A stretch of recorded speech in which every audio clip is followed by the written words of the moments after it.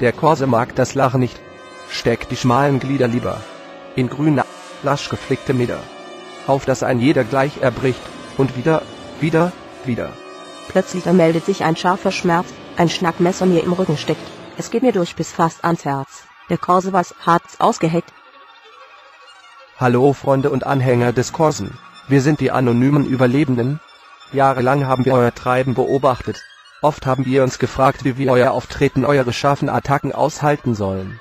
Wir haben es geschafft, haben uns in unseren Arbeitsstellen und unseren Familien verkrochen, um eurem Schnackmesser zu entgehen. Aber wir beobachten euch. Wir sind überall. Ihr könnt uns nicht entkommen. Ihr bekommt uns nicht ausgeschaltet. Wenn einer von uns gehen muss, dann kommen zehn andere, um die Mission zu erfüllen. Wir sind vernetzt, wir sind technisiert. Wir sind von eurer Welt, euren Kneipen und öden Fernsehabenden entkoppelt. Glaubt nicht, dass ihr euch unserer Beobachtung entziehen könnt. Wir sind überall. Wir sind rund um die Uhr aktiv.